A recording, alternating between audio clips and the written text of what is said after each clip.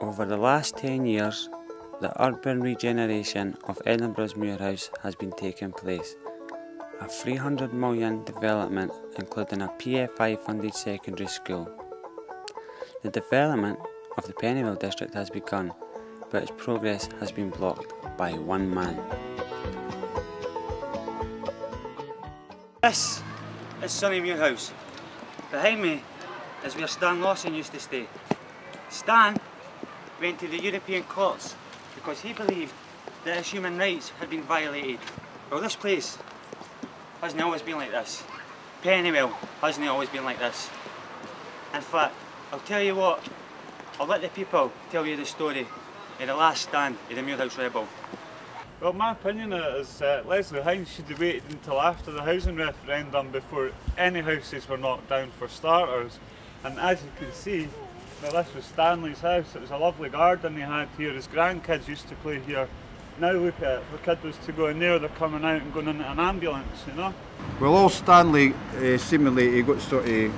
It, it was him to move eventually. I mean, you, you can't hold progress back. Old Stan was right over there. I think that um, if we had been there longer, it would have been a different outcome. At first, it was just a minor intervention into the problem in 2004 when I was told that they were not interested in people and the school would go ahead, right reason or none. Whether the people wanted to be uh, put back on that site or not, that was of no consequence. You know, these houses could have been um, refurbished. They're not that bad. There's, you know, they could have been refurbished quite easily.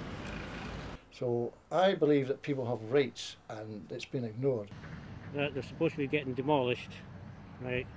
And then we were told another another another thing that they were getting refurbished up, you know, refurbished. And um, and we don't know where we're standing at the moment with the council. Uh, handcuffs, so there's about eight of them on top of him, putting the handcuffs on him, and then uh, that was when they got dragged out the house, but they are marked all his arms. And I'm not a kind of person to move. I've been tempted twice, three times to move south, but I've always resisted because I love Scotland.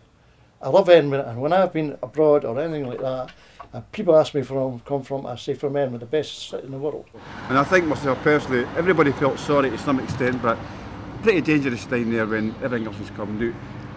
I read it in the paper like everybody else, he, he, he got conned, he came out, but regardless if he got conned, he's going to have to move eventually. It's, it's just the way it is, eh? I think people that's actually moved and stayed in this area should get first priority. If you've been brought up in this area, you should get first, um, you know, first come, first served. Also, I think that most of the people that have moved out, they're getting this £1,800, and to them that, that's a lot of money. When people move into this area for about two minutes flat sort of thing, you know, they've been a few up time, and they get £2,000. And young kids uh, getting £2,000, it's ridiculous. It really is. It's a tempt, it's a bribe. I think that if they live in a nice area, hopefully the, the, the, the good will outweigh the, the bad. Well, it's all over now, and the revolt from the People's Republic of Pennywell has been crushed.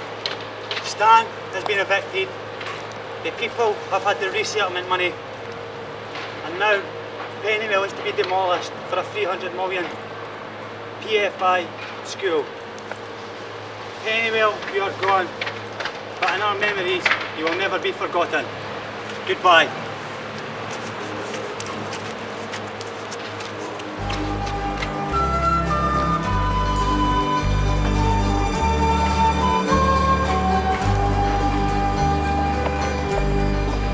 Saw you divided up my land